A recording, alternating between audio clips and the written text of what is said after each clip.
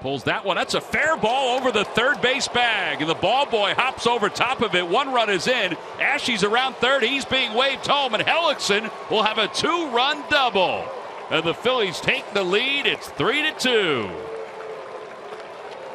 Well, his only two RBIs this year came on squeezes. So now he has two more the traditional way.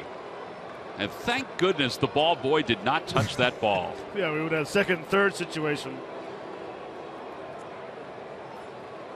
First double of his career. What a perfect timing, too. Fastball inside, just keeps it foul down the line. Ball boy, get out of the way. But it catches underneath that wall right there and allows Cody Asche to score from first base. Well, that was an even bigger.